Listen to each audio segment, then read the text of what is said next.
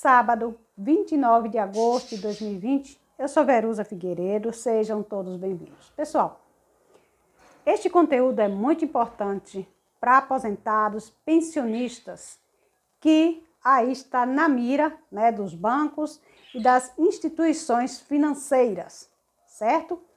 Diante de muitas ligações efetuadas para o número 135, para o INSS, buscando aí soluções e reclamações diante né, de tantas ligações impertinentes em busca aí de empréstimo consignado, o INSS publicou um aviso muito importante para você que é aposentado, para você que é pensionista, para você que depende de um benefício do INSS, tá bom? Olha só, reclamações sobre empréstimo consignado e no portal é no portal do consumidor. Já, é, já dúvidas e outros assuntos referentes a empréstimo consignado deve ser tratado diretamente com o seu banco, tá bom?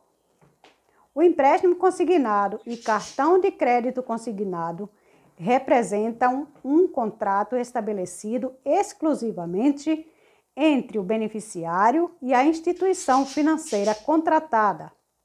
Portanto, o INSS não tem participação nesse tipo de transação. Reclamações ou denúncias sobre empréstimo consignado devem ser registrados diretamente no portal do consumidor, que está aí na tela e também na descrição desse vídeo, tá bom?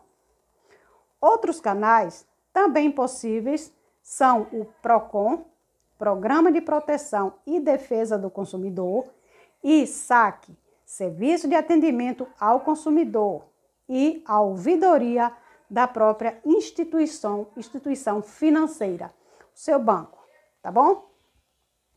Já dúvidas sobre empréstimo consignado ou necessidade de negociação dos valores do contrato são tratados sempre diretamente com a instituição financeira contratada.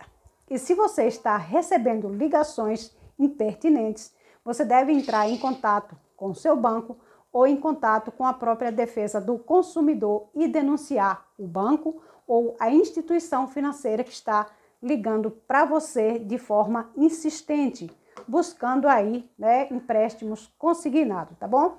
É um alerta muito importante, é um aviso muito importante para você que é aposentados e pensionistas e tem benefícios aí do INSS, tá bom? Um grande abraço, até o próximo vídeo, se assim meu Deus permitir. Quem quiser buscar essa informação está no próprio site do INSS, tá bom? Tchau, tchau.